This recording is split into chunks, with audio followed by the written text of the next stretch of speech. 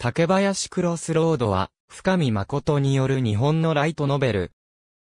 イラストはリビス。ガガガ文庫より、2007年5月からシリーズ4冊が刊行されており、第4巻で第1部が完結している。この作品は、レーベル上、ライトノベルに分類されるものの、ジュブナイルポルノに分類すべきであると評されるほど、過激な性表現や、暴力表現が満載の内容。2巻では帯に、注意。本作には、暴力シーンその他過激な表現が含まれています。関東に、この小説には、暴力シーンや、その他過激な表現が含まれています。未成年の干渉の関しては、周囲の大人、保護者の皆様のご配慮をお願いいたします。と注意書きが書かれている。作者は後書きにおいて編集者から何でもやっていいと了解を得た上で本作を執筆したことを明かしている。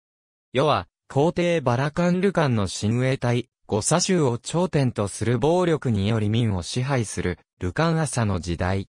ルカンアサの圧政に反旗を翻した最強の剣士、剣心神なりは、五左州との戦いに敗れ、生きたまま鎖につながれ恥ずかしめを受けることとなった。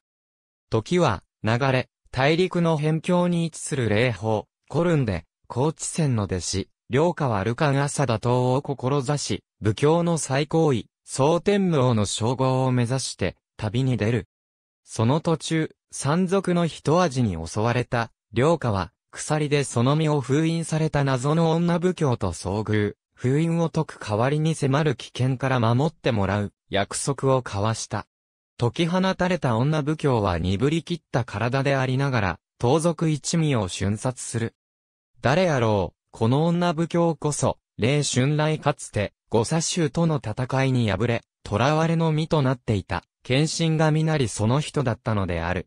伝説の武教との運命の出会い、こうして、春来に弟子入りした、両家は共に旅を続けることとなる。長い苦難の旅路の中、徐々に増えてゆく志を共にする。仲間たち、明かされる、良家がその身に宿した古よりの一族の秘密。しかし彼女たちは知らない、その先に待ち構えている、想像だにしなかった巨大な運命と時代のうねりを、